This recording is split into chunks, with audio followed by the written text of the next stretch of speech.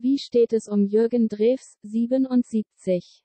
Gesundheit? Der Schlagersänger leidet an einer unheilbaren Nervenkrankheit und ist dadurch in der Bewegung seiner Beine eingeschränkt. Dennoch war er zuletzt mit Florian Silbereisen, 40 auf großer Tournee, bei der er 25 Konzerte spielte. Danach sollte es mit einer Reihe von Soloauftritten weitergehen. Doch daraus wird wohl erstmal nichts. Jürgen hat aus gesundheitlichen Gründen alle demnächst anstehenden Konzerte ersatzlos gecancelt. Gegenüber Bild erklärte der 77-Jährige, die XXL-Tour mit Florian Silbereisen hat mir sehr großen Spaß gemacht. Leider musste ich aber während dieser Zeit feststellen, dass mich die Begleiterscheinungen des Älterwerdens immer schneller einholen und der schleichende Prozess meiner Polyneuropathie leider nicht völlig aufzuhalten ist.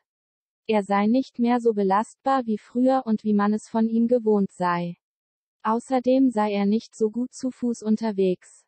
Um sein gesundheitliches Wohlbefinden zu erhalten, habe er die für Juni geplanten Termine abgesagt. Diese Entscheidung ist Jürgen offenbar alles andere als leicht gefallen.